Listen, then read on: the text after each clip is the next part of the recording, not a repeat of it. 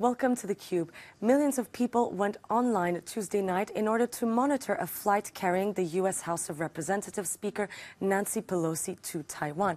Now, according to Flight Radar, which is a live uh, flight tracking website, over 708,000 people were following the airplane's course, making it the most live tracked flight of all time.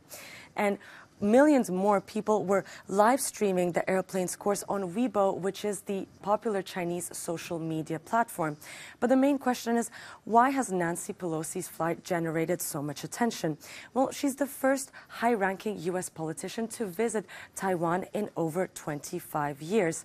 And it's also important to mention that as of Sunday, a trip to Taiwan was not logged into her official itinerary after Beijing issued multiple warnings against a surprise surprise visit to this island that it considers its uh, territory.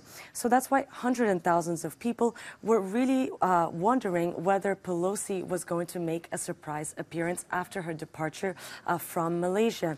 And Chinese uh, Foreign Ministry uh, said that it will respond to uh, Pelosi's surprise visit with resolute, forceful, and effective action.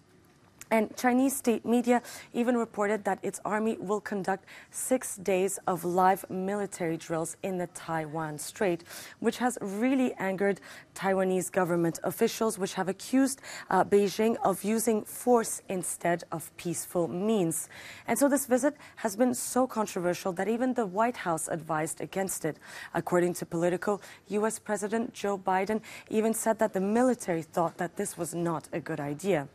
But the 82 year old politician uh, defended her surprise visit uh, by tweeting that it honors America's unwavering commitment to supporting Taiwan's uh, vibrant democracy.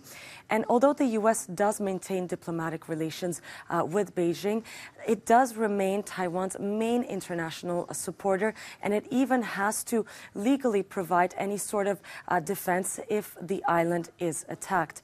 And when it comes to Taiwan, uh, it argues against the Chinese authorities authority saying that only its people can decide of the island's political future.